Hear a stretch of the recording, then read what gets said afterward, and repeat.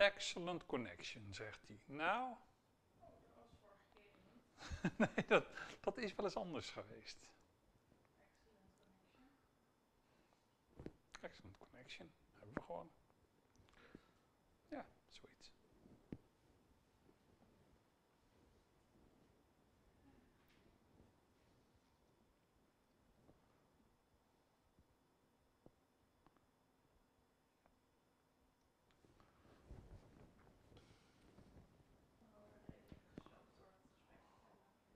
Hoezo? Ja, aan dat soort dingen kan je het allemaal merken. Dat is dan weer even een vreemde waartegen je dan weer, je moet inspannen en je best moet doen. En dan is het in één keer boom.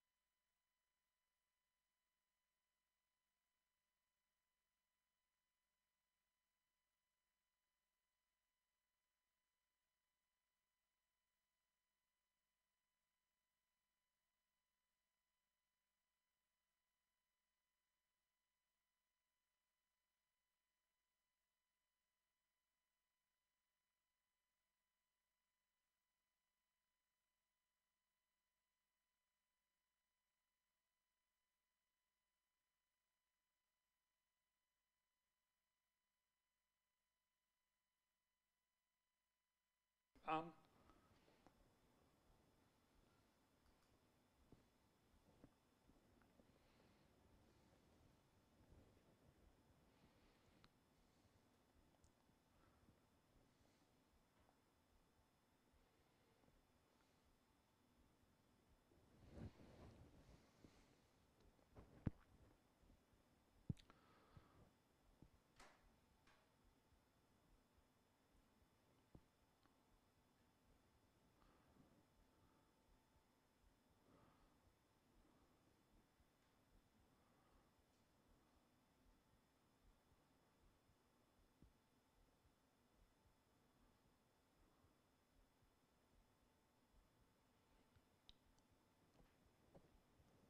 It is 7 o'clock p.m. in Amsterdam, and you are connected to the And the Groove Remains production team studios. My name is Mixmaster G, and welcome to this live stream. Today I had some uh, questions prepared already for you to answer. However, the big elephant in the room is, of course, Rekordbox 6. And I was lucky enough to play with it a little bit earlier than most of you guys. So I knew what was coming our way and I could prepare for this a little bit because the implications for the users of conversion tools and Rekordbox says are huge, to say it mildly.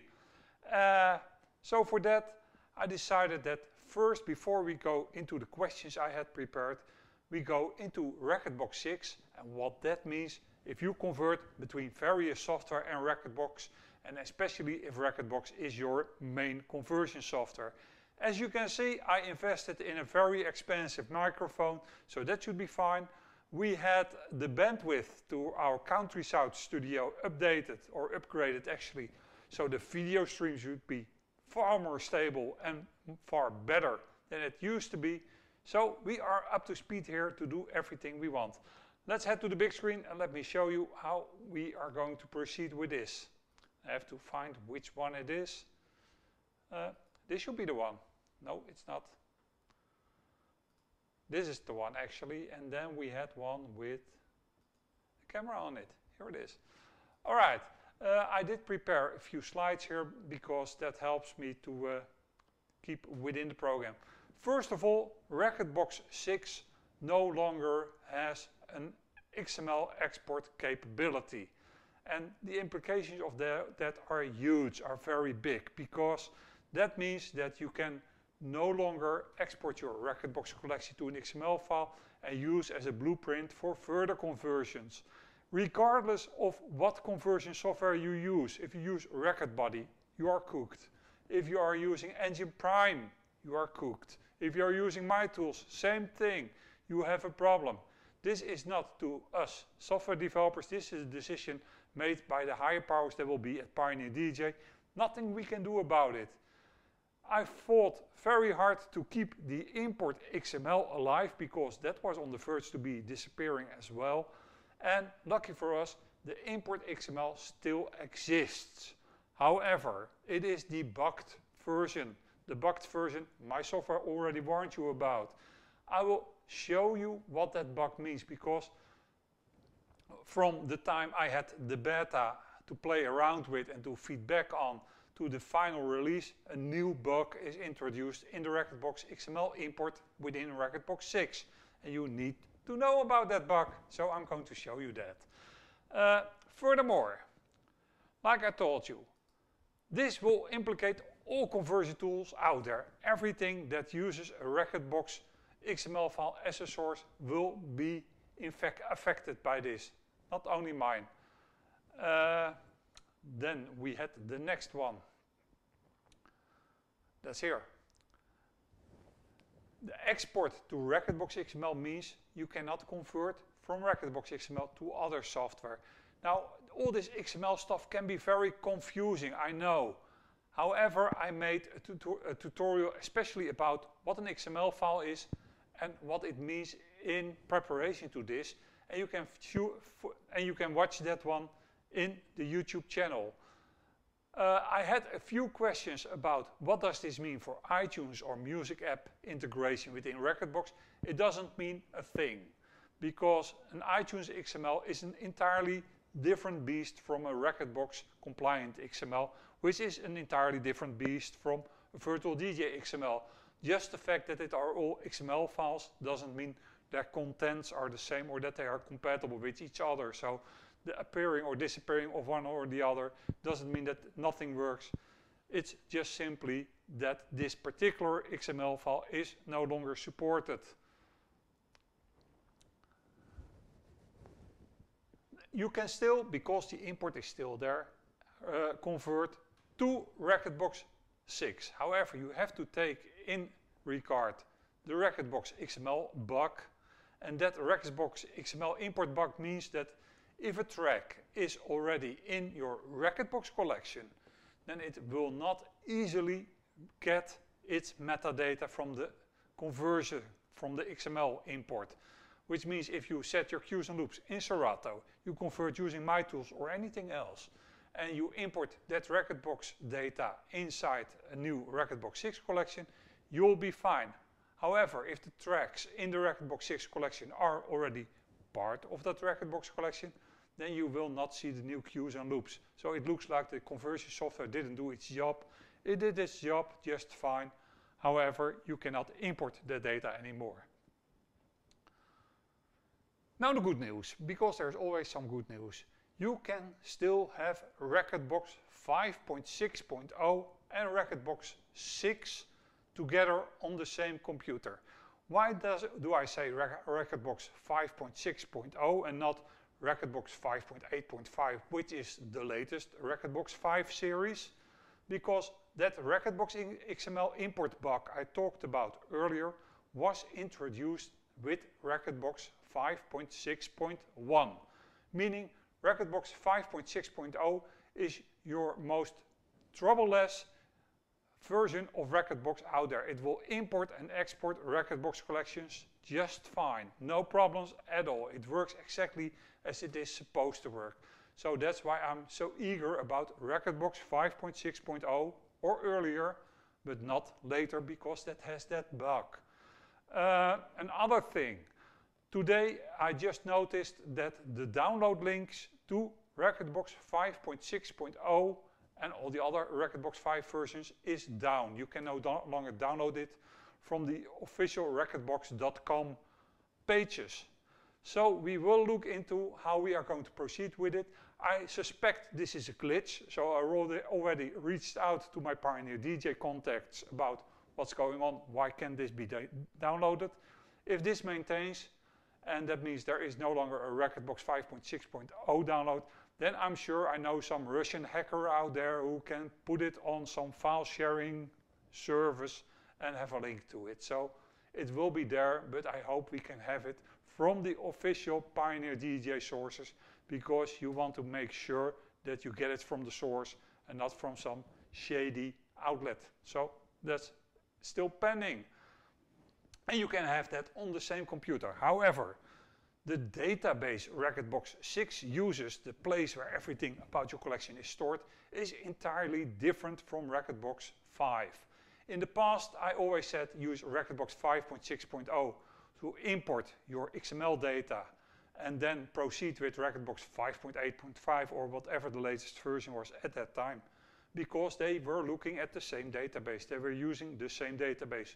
No longer the case with Rekordbox 6. It uses its own unique and encrypted database, which means if you do something in Rekordbox 5, 5.6.0, it is for Rekordbox 5.6.0 only. It is possible to import data from Rekordbox 5 into Rekordbox 6, and I'm going to show you that as well later on. However, that can take lots of time. It gets very, very slow over time. And what's even more important, uh, any cues and loops you set in Rekordbox 6 will be overwritten by that import data. So you basically are back to Rekordbox 5.6.0 if you want to go that route, which gives you a dead end. There is no other way around it. Now, what can you do and what can't you do? If you have Rekordbox 6 and you use the DJ conversion utility or Rekord Buddy, you no longer have the conversion from Rekordbox 6 to Traktor, Serato, DJ2 and iTunes Music app. That's no longer there because the export to XML is no longer there in Rekordbox 6.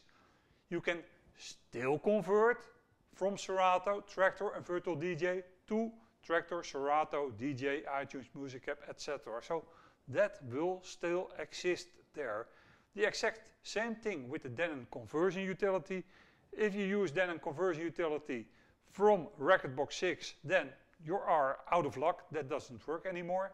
However, if you use the DJ conversion utility in between and you convert from Serato Traktor, Virtual DJ, use DQ to get it on a prime drive, that still works perfectly well. So there is no problem with that. It's strictly Rekordbox 6 that is the problem here. Now, this is very sour for my users of the Rekordbox Q and Key tool because those rely on Rekordbox export. You have to export your Rekordbox collection. It will be processed by the Rekordbox Q and Key tool. It will receive its mixed in key cue points, its mixed in key keys, etc., etc. And you can no longer export it. You can only import it. So that's out of the question what you can do. My advice to those people is maintain both databases. And I'm going to show you how this works in practice later on. But first, I just want to walk with you through what I'm going to do, and then uh, we dive into it, and we go into the technical nitty-gritty of it. But having two Rekordbox databases means you have to import new tracks to both Rekordbox 5.6 and 6.0. You can use Rekordbox 5.6 to export that much needed Rekordbox XML database. That will be processed by the Rekordbox Q and Key tool, and the resulting Rekordbox Rec XML can be imported by both versions. So there is basically one, one big reason why you want to have that Rekordbox 5.6.0 alive, and that is because you want it to make that export and then you can import it in both versions. So still have both versions. Uh, that's the end of the prepared slideshows, uh, which means we are going to dive into it. And for that, first of all, here we have, let's give you a few, the new Rekordbox 6. And those who paid some close attention in the past could already see that on my desktop in previous streams because I'm doing this for some quite, quite some time now. Uh, what I'm going to do is first of all show you the problems with the import of a Rekordbox 5.6.0 version. And let's take a Rekordbox collection here.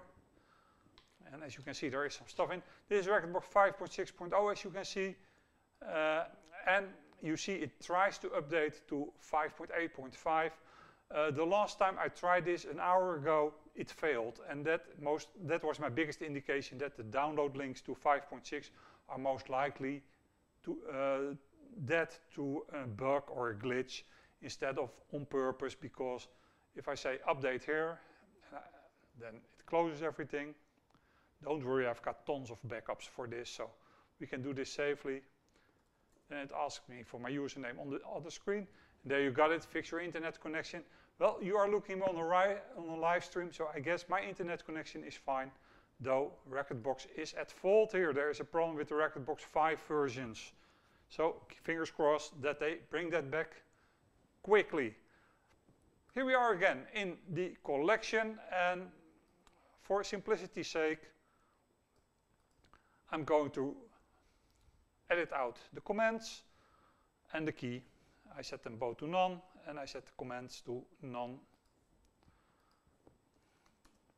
Why I do that I'll show you later because we are going to process this in Rec and the user of Rec will already see, hey Mixmaster G, you already processed it in Rec because I see purple cues there. That's correct, we already did, but we are just going to do it again, why not?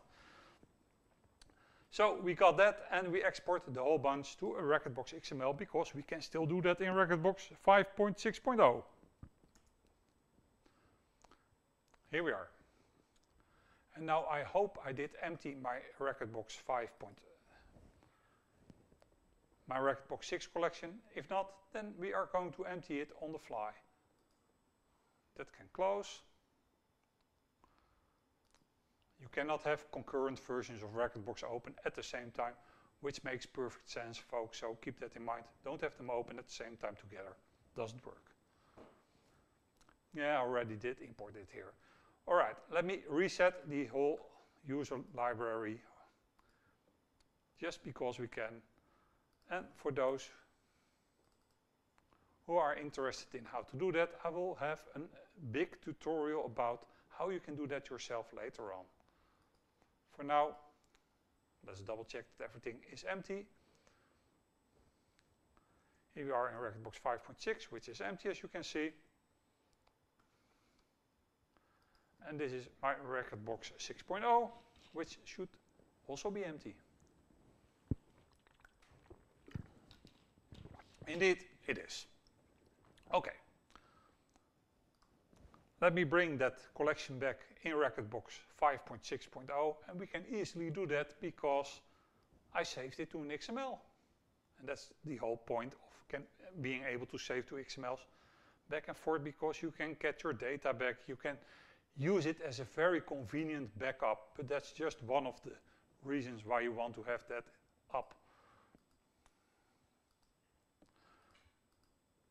We pointed to the Rekordbox XML I just exported, which should be in my documents folder. There it is, the one of today. And this is the normal Rekordbox XML import procedure. As you can see, everything is important, imported. You see it already analysis. And we've got some stuff here. Uh, let me find something that's easy to work on. Let's take this track. You can see the Rekordbox Q and Key tool. Uh, stuff there.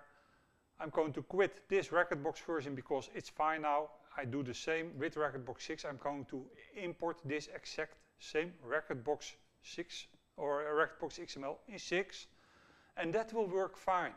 Why will it work fine? Because it's an empty collection. There are no tracks already in the collection so I can just say right click, import playlists.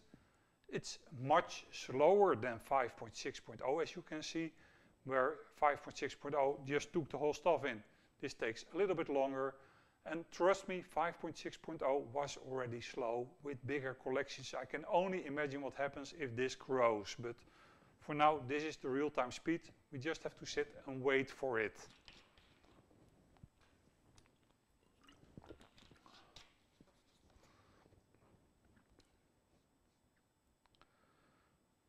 Okay, so now we have all that data right here and I can just load it up and it will show it. It is exactly as I expect it to be. It did exactly the thing we all expected it to do. Now let me show you the problem with the XML import bug. Uh, introduced with the Rekordbox 6.0 was a new bug I told you about.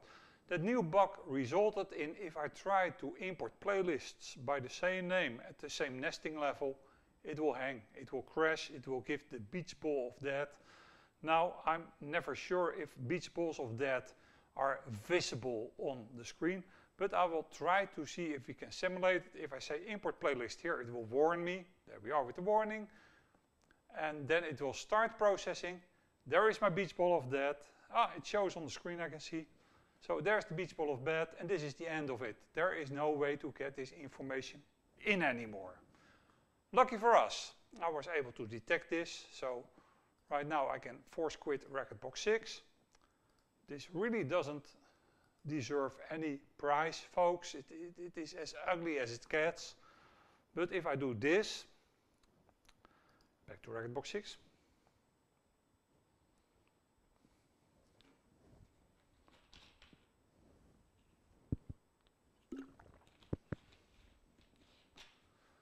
for it happen. If I delete the playlists that are there, delete this playlist, delete this playlist, and delete this playlist. And again, folks, this wasn't apparent in the uh, beta I played with around earlier. It is in the final release. Now you see it works and it's quite fast. Now the problem. And in order to understand the problem, uh, let me empty this all first because then we can use it again. In order to understand the problem, let me first show you how this usually works in Rekordbox. how the old 5.6.0 version of Rekordbox handled this stuff. So I go back to Rekordbox 5.6.0. And uh, let's stick to the Aretha Franklin track there. You can see a bunch of memory cues all named rec because they are coming from rec. They don't make much sense, but it is what it is. Now, if I go to my source XML file, and that is in the documents folder right here, and I'm going to, let's rename some cues here. Just, just simply rename them. Uh, let me find the track. That's the track. And then I happen to read XML. You probably don't, but that's okay, don't worry. We change this one to ATGR test. That is the name of the cue I'm just, uh, I'm just changing here. And I do the same for the memory cue. So the first hot and memory cue are now named ATGR tests. Uh, I go back to Rekordbox. and if I dive into the Rekordbox XML, it's still pointing to that XML I just edited. Watch the first cue in the memory bank, and the same will happen in the hot bank. When I say import playlist, it will warn me that it exists, that's fine. And you see ATGR test is the name of the first hot memory cue and hot cue. So it is changed. The, da the data is changed exactly as I expected. Now the same thing I will do in Rekordbox 6 and then you immediately see what the problem is with Rekordbox 6.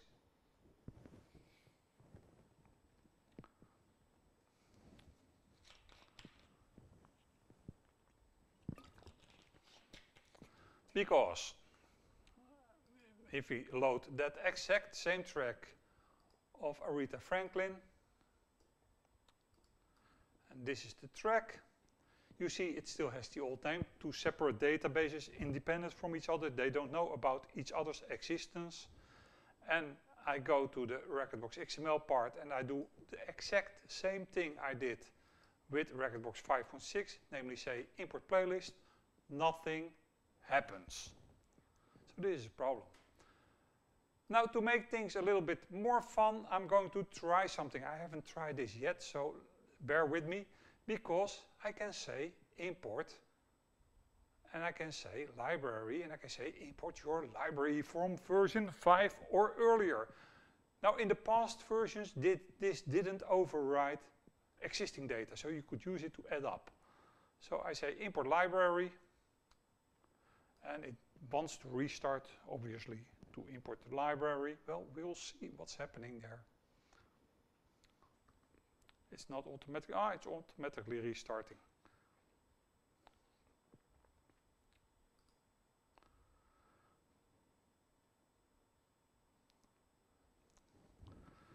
And now let's see what's going to happen to that deeper love track because that's the one of our special interest.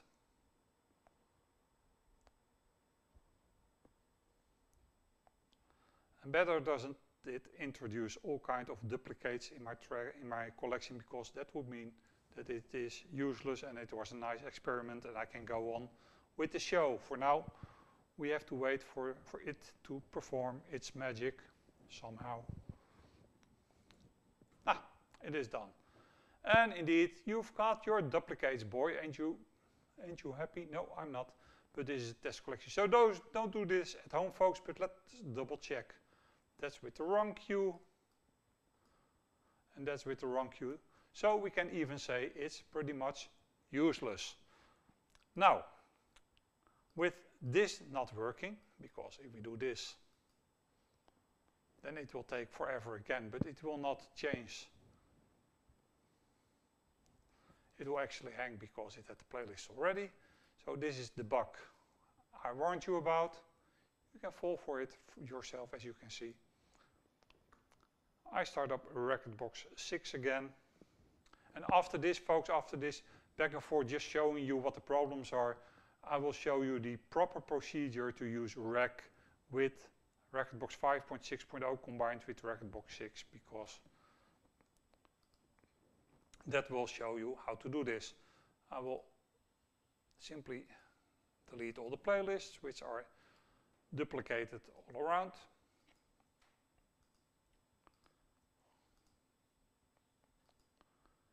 Still too bad that you cannot combine them both. I understand there are some questions, so after this I will go to the questions and see uh, what kind of questions we have. Uh, let me finish this up. Let's take the Aretha Franklin track again, Deeper Love. Now if I import from this part of the collection, and let me find the Deeper Love track. Not like that, like this please. There we are, and import it to the collection. Then you can see it takes the correct data. So there is a way to import that data, and that way is to use the all tracks information, which means you throw away all the playlists. You can combine this, you can do both actually. I will show that too, but that's how it works. I'm going to grab the laptop, I'm going to have some look at the questions that are there, and then I continue with the program. Hold on. And indeed, it are a lot of questions this time around, folks. Oh, I love questions. Thank you so much. Uh, asks, should I weekly make a backup of my Rekordbox library? I normally never do that, just three times a year. Uh, Personally, I make backups of my startup drive, which means I create a drive using Carbon Copy Cloner, and that drive can be used to boot all my computers and has all the data on it. And I do that on a weekly base, and actually have three versions of that drive in circulation because I want to be able to go back in time as well. So I don't only backup the Rekordbox collection, I backup everything on my computer, which includes the Rekordbox collection. Uh, Pedro Estella, hey, Pedro out there. Uh, thanks for the session. The XML export is a major problem. Yeah, it sure is, Pedro. It is a very, very, very big problem. Uh, uh, Stin Elder asks why it is such a big big, big thing that the XML disappears? Well, basically, it makes it a locked ecosystem. It makes a Rekordbox a locked, closed ecosystem, and you don't want that. You want to have a free ecosystem. You want to be able to do whatever you like to do instead of being locked into one single ecosystem. So that's the reason why we are we care so much about this and why Pedro cares so much about it. Uh, Rekordbox 6 compatibility, X, uh, question marks, ask Will Monotone. Uh, I don't know what you exactly mean with Rekordbox 6 compatibility, Will. Uh, we are not talking about Rekordbox compatibility per se because uh, Rekordbox uses proprietary mechanisms to store its data. So basically nothing is compatible with Rekordbox 6 except the Pioneer DJ stuff. However, the Rekordbox XML import and export method is a way to open up that ecosystem, to import data from other sources and to export it to other sources. And that's why we care so much about it. Uh,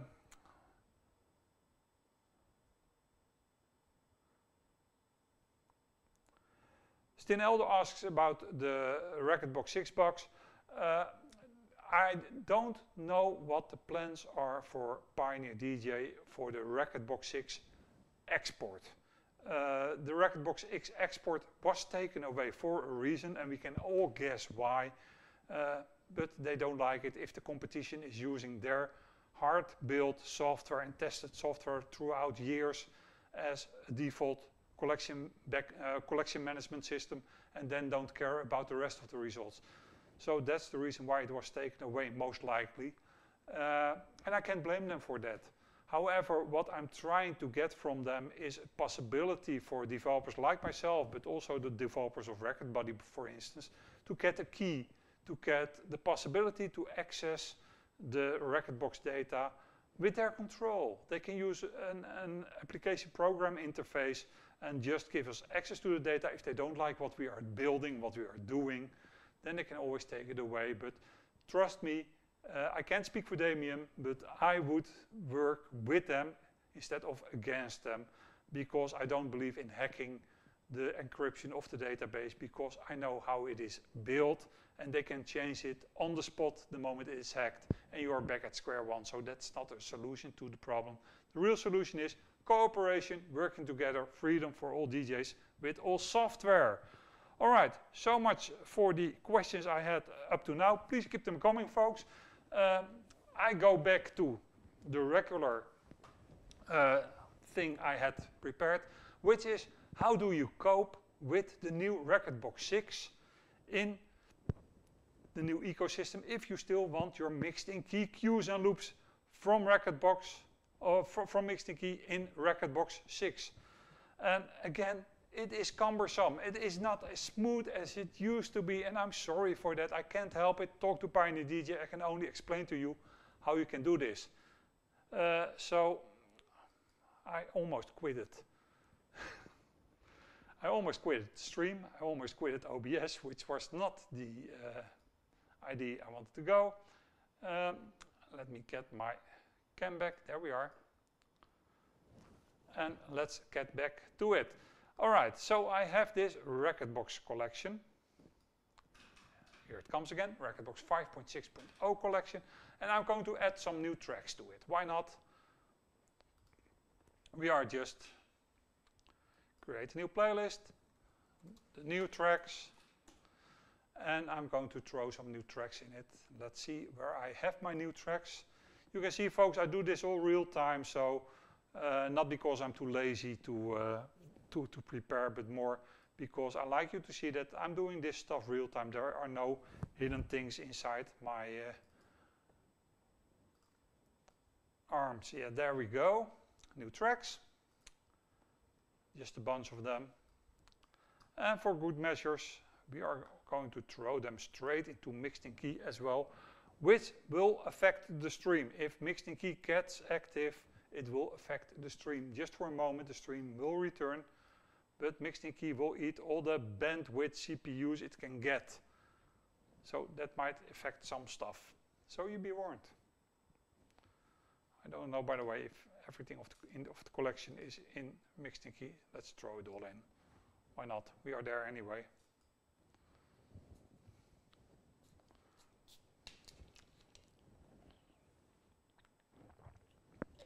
That went much smoother than expected. Alrighty, I can quit mixed in key and let's, in the new tracks, let's take the Calvin Harris and Rag and Bone track as our spot track and let's give it just a little hot cue here. We can even give it a name, the hot cue, why not? So that's there.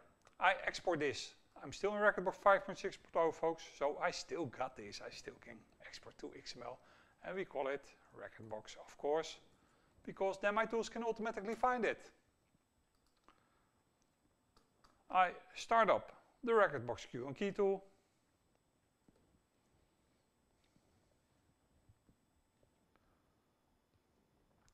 And you can, what I'm applying, what I'm doing here, you can apply it to everything, but the Rekordbox Cue and key tool users were the most affected by this bug because they need Rekordbox XML export, and that's why I'm doing this specifically for them.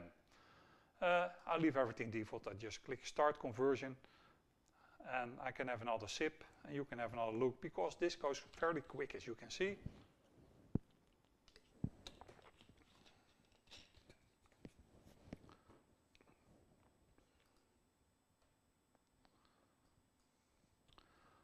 All right, everything is there and if we go to the Rekordbox XML that was just produced and we right click import playlist then it tells us, warns us actually that some stuff will be overwritten, which is fine. And we find the Rag and Bone track.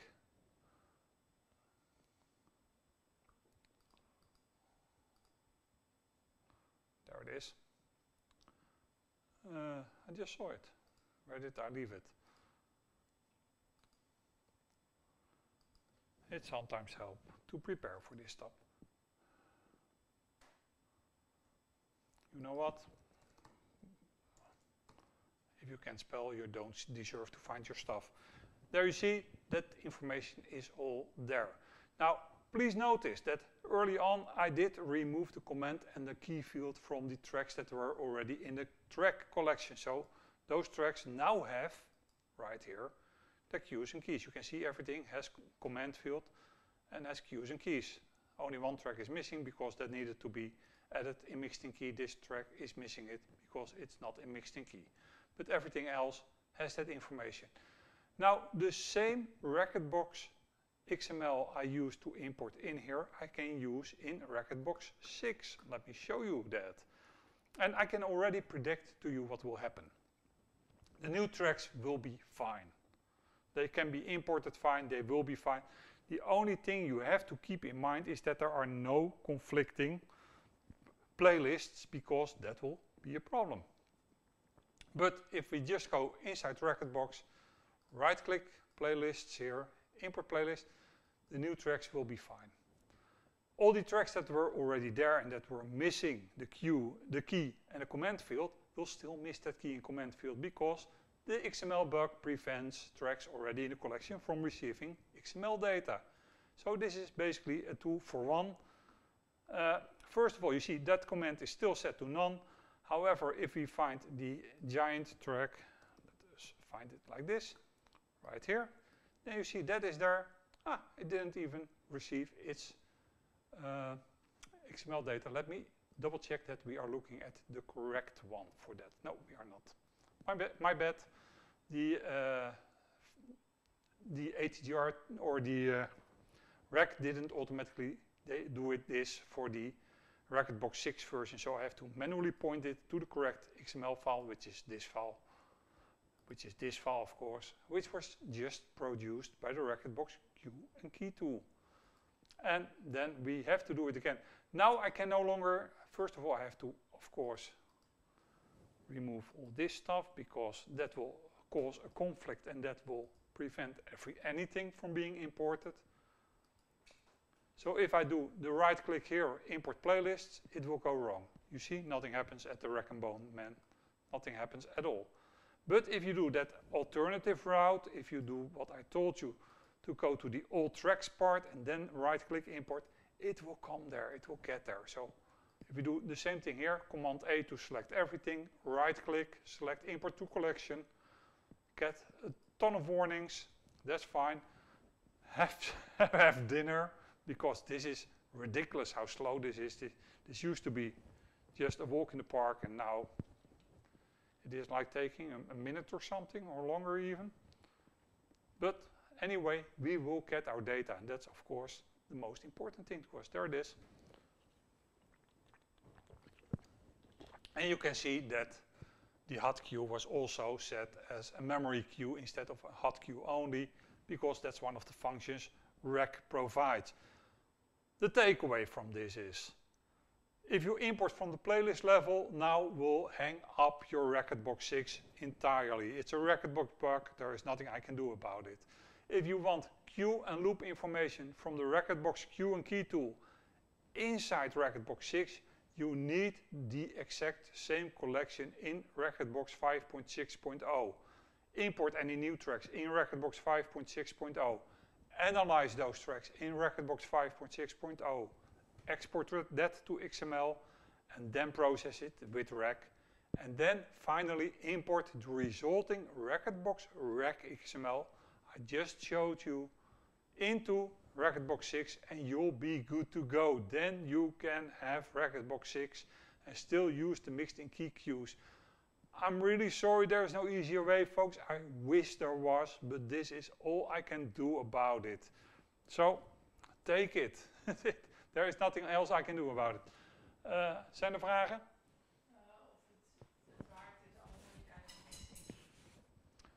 Um,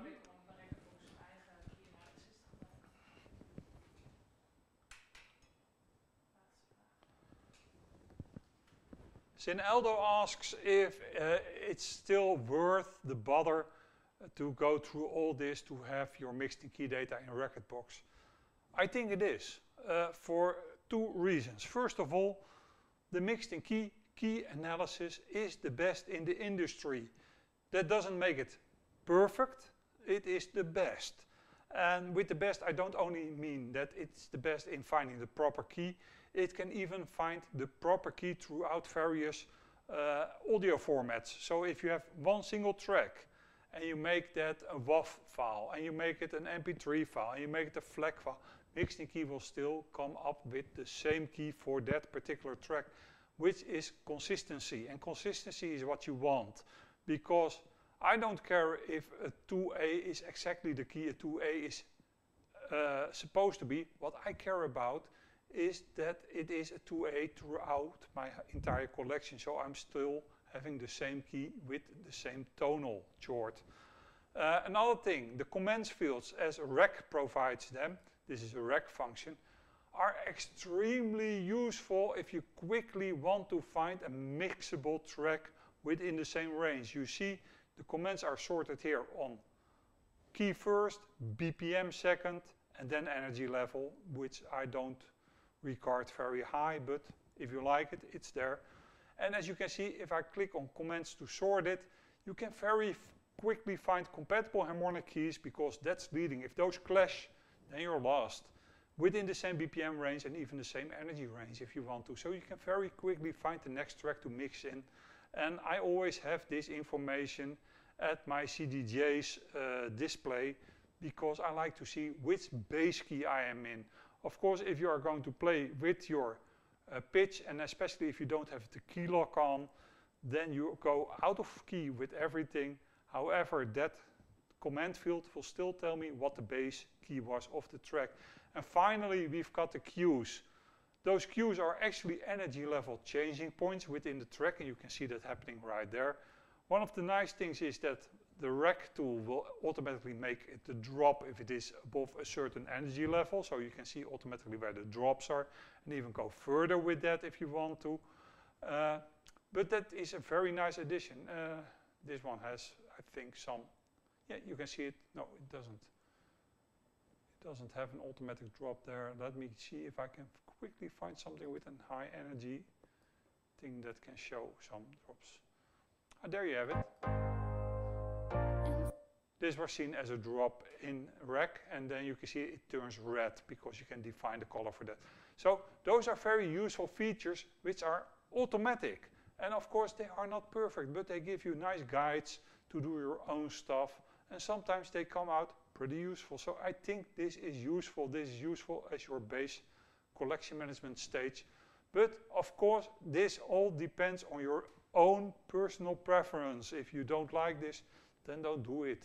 Uh, it is whatever you need, whatever your mixing style uh, uh, is, and well, whatever you, your audience wants. So it's different stuff for different DJs. I happen to like it, but I can completely understand if you don't. I had in mind to uh, dive into uh, another subject that is plaguing a lot of DJs and a lot of artists, and that is named beat grids. And those beat grids seems to be a big mystery to a lot of people, and it is not that complicated after all. Uh, I will fall back for uh, this part of the AMA to my uh, preferred uh, platform, and that is Traktor. I do all my preparation work in, in Traktor, but this works virtually the same as Serato and in Rekordbox or Virtual DJ even. So it's just you need to know how to, do, to understand how this stuff works in order to make it work. Uh, let me quit Rekordbox here. We are leaving Rekordbox territory and let's fire up Traktor right there. And when I'm preparing, I like to use Traktor in single deck mode because then I got a lot of screen estate. I can make this a lot bigger, as you can see. There we are. And then I got complete control about what I'm doing and how I'm doing it. Uh, am I going to stick to flames? I'm going to stick to the flames. All right. First of all, you need to realize what a beat grid is. And a beat grid is basically nothing more than an anchor. It anchors your beats to a grid and we can use that grid because it's a mathematical representation of the track to use it to sync tracks together, to uh, trigger effects on it, to make loops out of it. So it's a very important thing. And you see the beat grid in Traktor has a few nice things going for it. Let me tweak my deck preferences a little bit because this is not how I usually have them. Because usually I have at the deck layout, there we are, and I like to show, no, not there, the track decks, that's the one. And then I like to have the beats there because that tells me what beat I'm looking at. You see that right there at the uh, right uh, second to the left uh, bottom, you see 1.1.1, which it means it's the first beat of the first bar of the first phrase. So 111 is very easy to understand. I always tell people just look at odd number, odd number, 1. That means you are at the first bar of a phrase. If we go, for instance, within the track to here, I can tell you already 211 is the next beat marker and then you can go on further even more. 411 is there and you can easily skip forward through it. Sorry, let me. Oh, it's it's on the it's on the internal audio. It's not running off the uh, actual uh, machine, so I have to keep it a little bit quieter. But you get the idea. Uh, now, what is the thing about those beat markers? You basically got two versions of them. One is called a static beat marker, which means you have that anchor, that beat marker, that first beat you can uh, set. And I really want this to be a little bit less noisy. Let me find out where it is. Then we just kick back the main like that. That always works even a little bit more because this can get noisy, folks, sorry. All right. Let me reset the, the grid in Traktor, and I do that by clicking reset, like that. And then it automatically set it right here. But let's say I want to have it at really the first kick, which appears here. And you can see it is already marked 211. But if I say no, I want to start it here, I can mark it there. And now this will become the new 111, as you can see. Well, of course, we have to delete the old one. Can do that right there. And then we have here our new 111, as you can see. So that's our start of our beat grid. That's our anchor. That's where the beat grid stands. And then you see the next markers, which basically tell you what the BPM is. And that's what a lot of folks don't understand, that the space between those grid markers is your BPM. That is where your BPM originates. If I make the BPM higher, if let's say we make it 120, you can see that they move closer to each other. The track is faster, so the grids will be clo closer to each other. And if we make it slower, they will be widened. They will be further apart.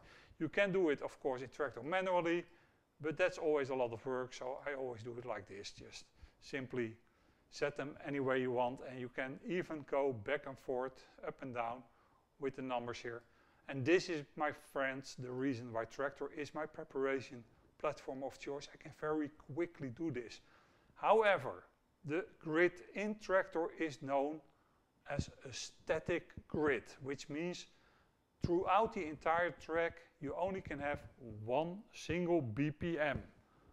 Lucky for us, Traktor has the possibility to set multiple beat markers, which means that if the beat drifts away, and you've got that, of course, with uh, all the Bootsy Collins or Parliament tracks, the old soul and funk tracks, uh, everything analog recorded basically always walks away, drifts away, and then you can correct it in Traktor by just saying, all right, uh, well, this track is not drifting at all. Let me find something I know that happens to drift or something that most likely will drift, which will be a bit a little bit easy because this looks all reasonably new. Um, all right. let me find on the server a track which I know that always gives us troubles because that's famous for it. And that is Relight My Fire by Dan Hartman, but let me find that track on my server and then throw it inside Traktor so we can have a look together at it. And I can show you how you handle this in a static beat grid because actually uh, that track has some, some real problems with it. Uh, it looks like my server is a little bit slow today, so this can take a while to find. Uh, in the meantime, let me see if there are any questions in the chat. Are questions? There are no questions in the chat. All right, otherwise I have to uh, emulate it because I cannot go outside to my normal collection where I can grab it. So I have to find it and that is on this server today very slow, it seems to be. No, that's not going to work. All right. Um, how about it? Uh, let's take an acapella. Why not? A Acapellas are always the worst things to uh, to do anyway. And let's take the Rapper's Delight track. Uh, we all know it, of course. Uh, let me give you the.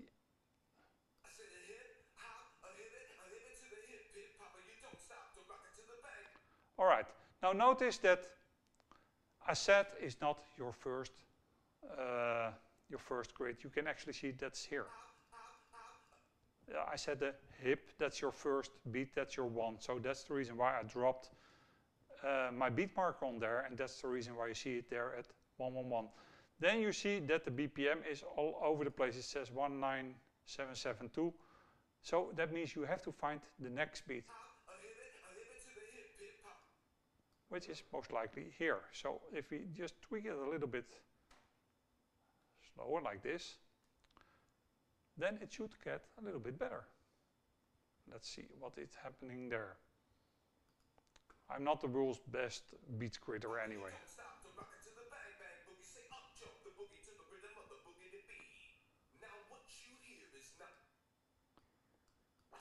And there you see drift already.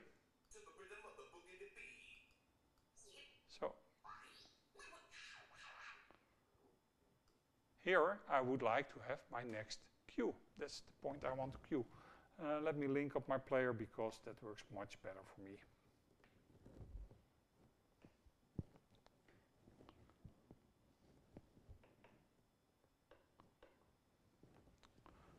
Should be player one.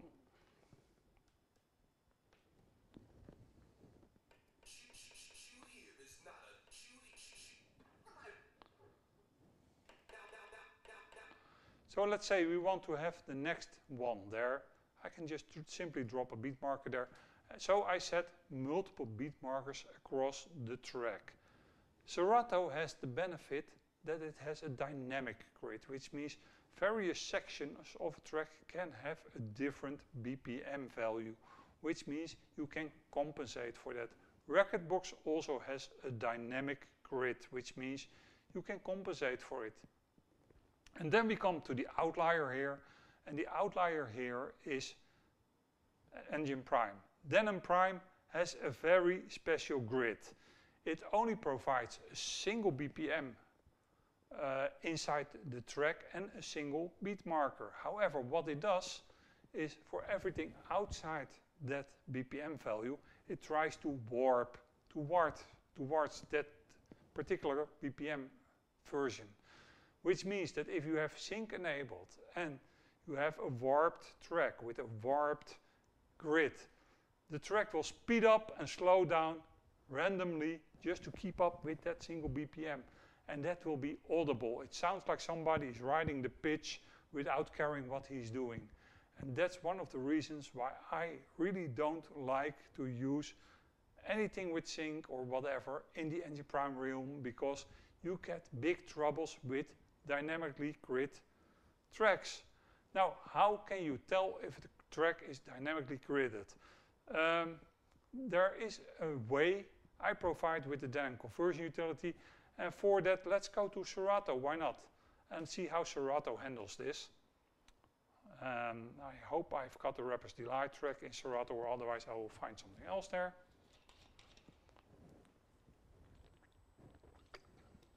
Because I also promised someone that I would show in this tutorial how you can convert from Serato straight to a Denon Prime drive, take that to the players, set some cues and loops, and then convert it all back to Serato, and that's what I'm going to show you, folks.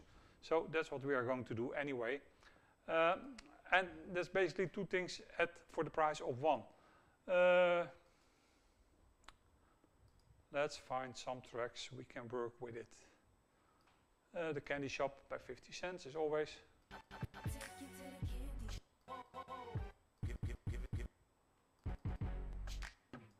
This is a static beat, but it's a static beat a lot of auto analysis have problems with because it cut it boom in the middle. So it cut uh, kind of a half beat in between every time. And that throws off a lot of automatic analysis. Uh, it is 98 BPM and you can see in my Serato deck that it is perfectly queued up. Uh, let's see if I've got that Sugar Hill Gang track here. And that should be here, but Pete, if you just sort it like that, then you can easily find it, indeed. And let's see what we've got. Hop, a hibbit, a hibbit to the hip, hip, papa, you don't. And let's just reanalyze it in. Um, but then I need to go to preparation. I'm so sorry, folks. I'm not very good at Serato at all, but I need to go to the analysis, and that should be hidden somewhere here. I don't want to link up. I don't want quantize on. I want horizontal. That's fine. A library view, maybe. No, not library view. I want to go to my preparation thing because I cannot find the analysis now and I want to analyze that track. No idea how I can do that, but I really wanted to do that. Anyway, uh, can I grid? I can grid. I can edit the grid even. So let's see what we have as a grid. I, said a hip, hop, a hibbit, a hibbit to the hip, hip, papa, you don't stop the rocket to the... All right, there we've got something. I said a hip, hop, a hibbit, a hibbit to the hip. Let's set an extra marker there, and we should be able to set it there. Set, why not? Pip, Papa, you don't stop the rocket to the back. Let's set one there. Let's just see what happens. Oh, then it takes. Oh. No, no. Right. That's fine. The rocket to the bang bang boogie, say up jump the, the boogie to the rhythm of the boogie to be. Now, let's put some there. You can see that the BPMs are all over the place, but I'm just dropping some beat markers here because I'm going to show you how this all converts. Uh, I'm pretty satisfied with this. I just quit it. I have uh, the acapella and the hip hop hooray crates I'm going to work with. So I quit this. And that takes a little while, of course. I go to the disk utility to format the drive. And that's, of course, the drive right here. And we call it, as always, PRUTS. And we make it an exFAT drive on a master boot record. And that drive is ready to go as you can see. I fire up the DJ conversion utility because before I can go to a Denon drive I need to make it a Rekordbox compliant XML. That's that same Rekordbox XML you can no longer make from Rekordbox, remember? Uh, I can then leave everything default in the DJ conversion utility. And we said we just want to work with these two crates.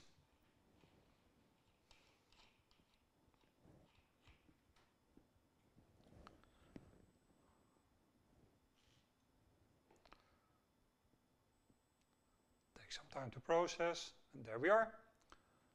Uh, I don't need to see the log. It will automatically start up my beloved Rekordbox 5.6.0, and while we are at it, just have a look at what it did because we want to see what happened to that a cappella track and especially to those two beat markers I dropped in it. So why not just load it up.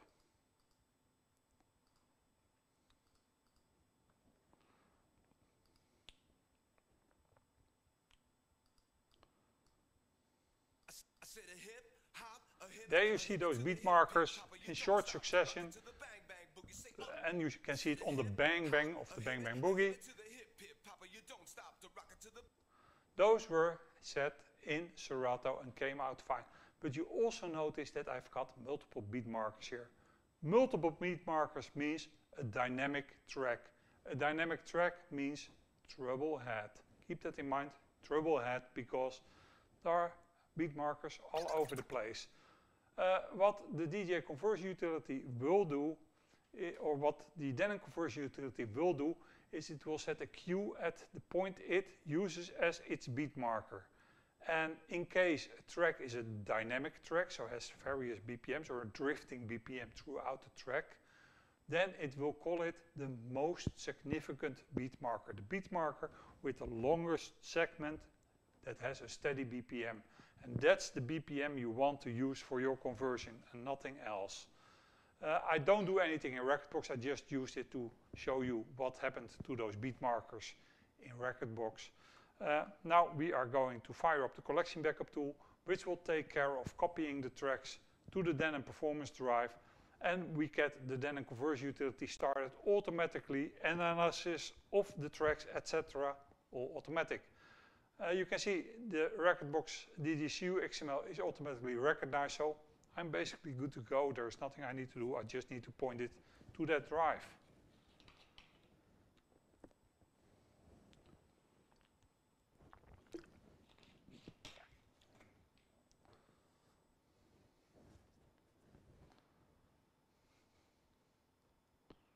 The Denon conversion utility needs your attention.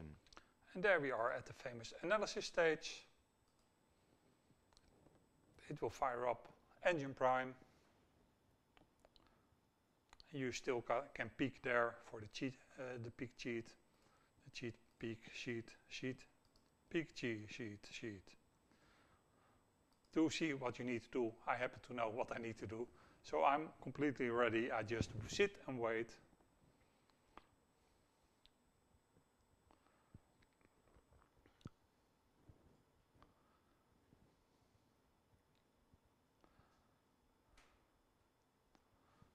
and we have to wait for the Denon conversion utility to finish its job. It's not done when the analysis is done. It's just, it's beginning when the analysis is done to prevent overwriting of data. Now it's done. And I can first show you over here how it looks, but we are going to the, to the DEX in a moment and I show you there. But if we take that same Rapper's uh, track again, which I should now be able to find, then you see that there is an MS beat marker, a most significant beat marker, and that is set because the longest segment with the steady BPM is after that now, apparently. Again, I didn't cue or I didn't grid it entirely correct in Serato, but you understand now what you're looking at. You see MS beat marker, you know hey, this is a dynamic grid. It has multiple zones with multiple different beat markers. And your prime doesn't support that. So basically, I'm cooked, but this is what I got. And for the rest, everything is there. I'm going to move to the DEX, and I understand there is a question. Let me have the question first.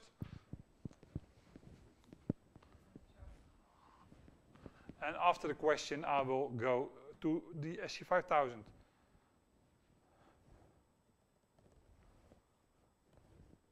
Uh, Boss and FP says, I use both Serato and Rekordbox and I need this to work. Well, my friend, it works. However, you need Rekordbox 5.6.0, as I just explained, to keep it working, to keep it working reliably. And you can do, try to import it in Rekordbox 6, but expect problems with it. It's still possible. Uh, Stin Aldo has another question. I don't know what you meant in Rekordbox. It was a dynamic beat grid, but I don't know what you mean with beat marker. Oh, you don't know what I mean with the beat marker. Uh, the beat marker are those red lines in Rekordbox. Let me, let me pull up the track again in Rekordbox and show you. Um, because maybe I was a little bit too quick with it. Don't you love it that I have a wireless mic now and I can walk around and you can keep me at one volume. It's, it's, it's nicer. Uh, let me finish this up first. I take the drive to the Denon Prime deck. I'm going to show you, we're going to set some cues and loops on the Prime deck. I convert that all the way back to Serato. And then I dive into the beat marker stuff in Rekordbox a little bit more. So if I forget, please remind me of it, but we will go into there. Uh, quit Engine Prime. Always, folks, always, always, always quit Engine Prime before you proceed. I read a lot of folks with troubles about corrupted databases, problems with database of Engine Prime. That is all caused by the fact that Engine Prime was not quitted. If Engine Prime is still busy writing, analy analyzing, whatever, if it's still busy on your drive and you just pull it out or eject it, it can cause problems. Quit Engine Prime. Engine Prime will tell you if it's still busy, wait until it's finished, then you can say right click, eject drive, in Windows, you can say eject media as well. And that's the only safe way to switch drives. The same thing if you got a Prime 4 and you have it in computer mode, you are working on it in Engine Prime and you want to switch it back to standalone mode. Quit Engine Prime first, then eject it and then it's safe to take it with you. I'm going to move over to the uh, DeX just because I can and I love it that I can, I can just walk around. It's, it's so nice. Um, I connect the drive right here to the deck. I'm going to change sources to the Pruts drive.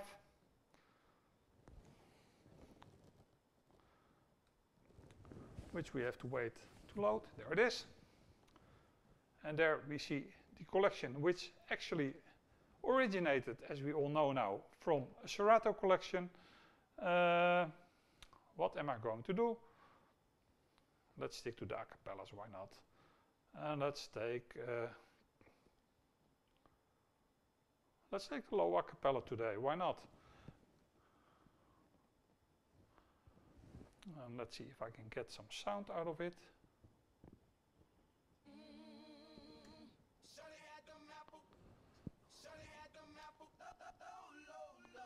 All right, that got some cues. This is not fun if I want to set, I want to have, find something else, sorry folks.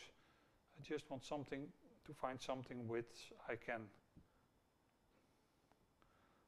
Uh, all right, folks, this is Dutch. I'm sorry for that. Uh, let me first delete all the cues from it. Those are deleted. You see the beat marker. And we set the cue there. This is, by the way, also a shifting beat grid. And let's find the high energy level track.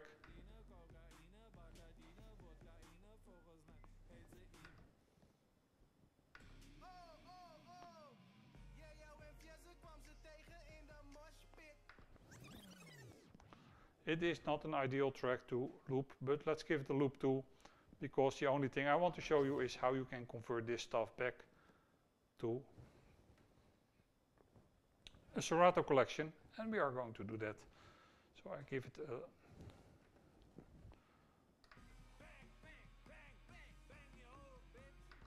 it got a loop there and we give it a little loop there.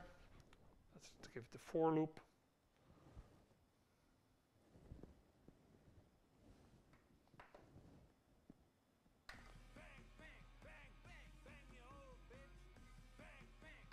Alright, so we got two queues and we got two loops set in.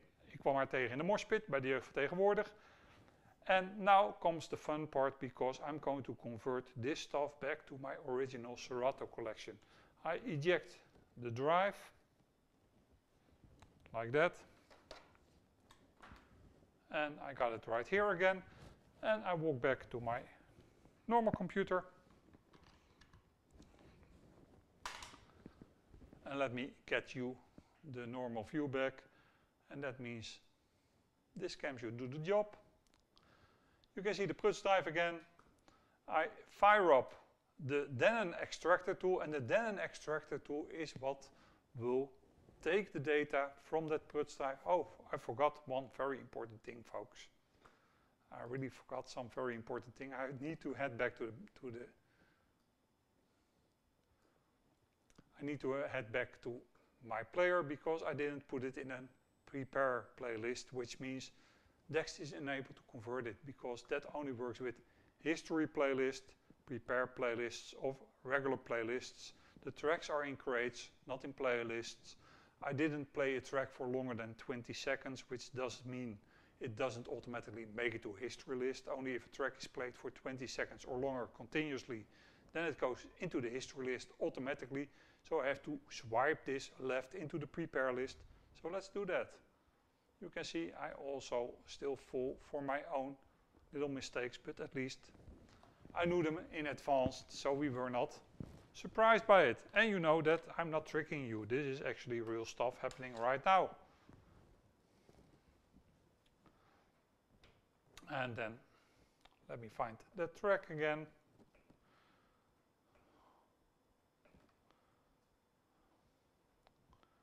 And if I swipe it left, then I load it in the track, in the deck. And if I swipe it left, then it's added to the prepare list. So now it's in the prepare list. And while it, just take the Witte Wijn Muziek track and let's give that, oh, it's still got some cues too. Remove the cues there. Give it a little cue there too. Change the view, swipe to the left, so it's added to the prepare list. So now I got two tracks in my prepare list, which I did gave some cues and loops on the SC5000. The drive is disconnected and we head back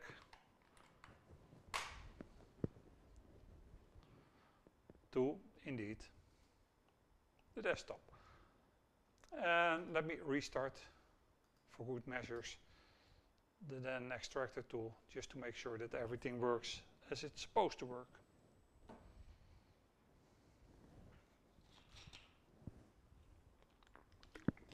All right, you see a couple of XML settings here. I'm going to point this one to the original uh, Rekordbox XML that was used to create this collection, which is this XML, which I just created from Serato.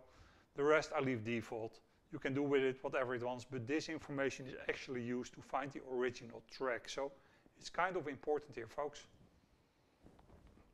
And you can see there, there are no other settings, there are no other things going on. It's already done. And then it will fire up Rekordbox 5.6.0 because it was meant to be working on that. But we are not going to Rekordbox. We are going straight to Serato though. So I close Rekordbox and if you don't use Rekordbox, you don't need to use it at all. You can skip this entirely and go straight to the DJ conversion utility tell it that our source is coming from Rekordbox, that Rekordbox Dext is automatically selected. But let me double select it for you so you know exactly what we are doing. We select that track that has just been produced by the Denon extractor tool and we tell it we want to go to Serato like that.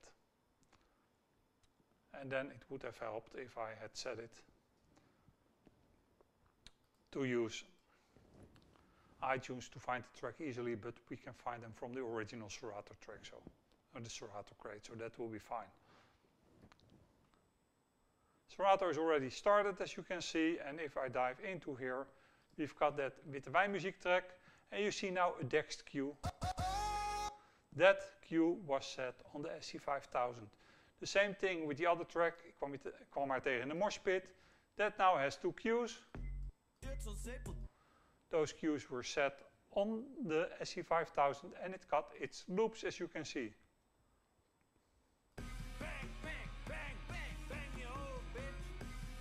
that was set actually on the SC5000 and the same for this loop. Right here, that's the long loop, so I will not play. So this is pretty impressive stuff, folks. Your Serato collection, you can sync everything back and it is not coming from the Pruts drive because that's dismounted. I've got the Pruts drive right in my hand right here. This is the Pruts drive. These are the original tracks of your collection and that makes it so powerful. You don't get any duplicates in your collection. You don't, you don't have to be afraid of that. It will just add the cues and the loops you set on the player to the Serato collection. All right, we had that pending question about what is a beat marker Mixmaster G. I will show you in Rekordbox. Hold on.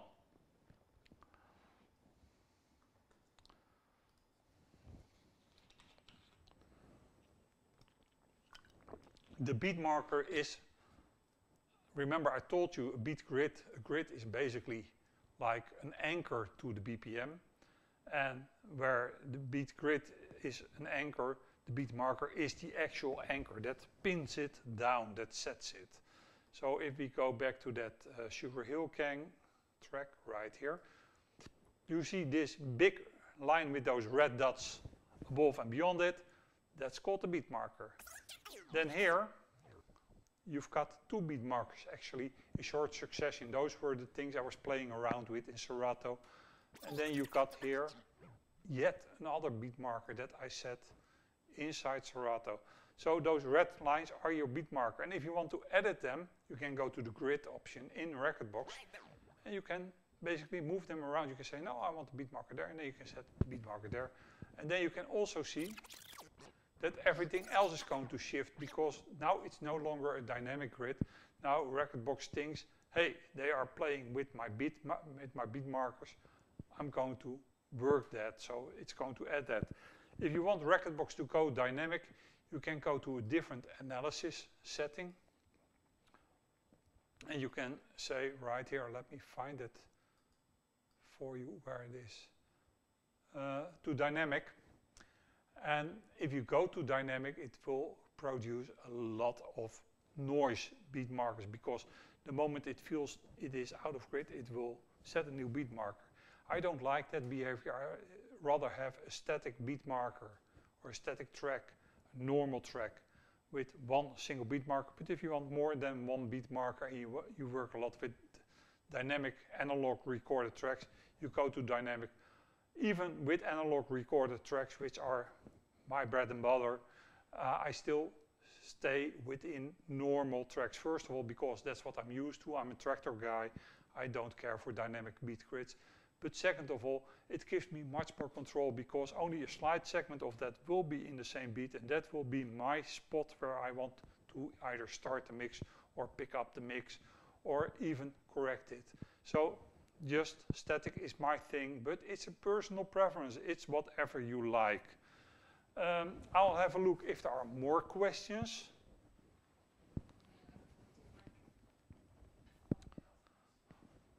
Let's see, I've got some things.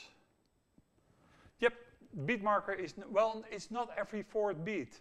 Uh, the beat marker is the start of where you count every fourth beat, where you count every bar. So it's basically your zero point, your anchor, your base, where you start counting.